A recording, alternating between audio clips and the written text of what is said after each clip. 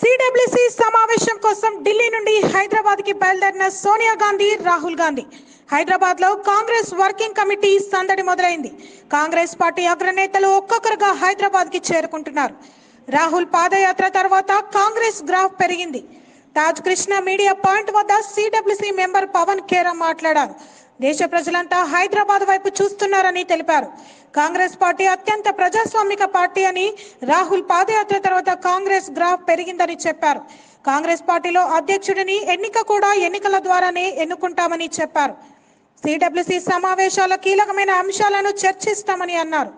మేము ఏ జర్నలిస్ట్ని బ్లాక్ లిస్ట్లో పెట్టలేదు. విద్వేషం రెచ్చగొట్టే వాళ్ళని దూరం పెట్టాలని అనుకున్నామని పవన్ ఖర్గే అన్నారు. సిడబ్ల్యూసి సమావేశానికి వచ్చే సభ్యులకు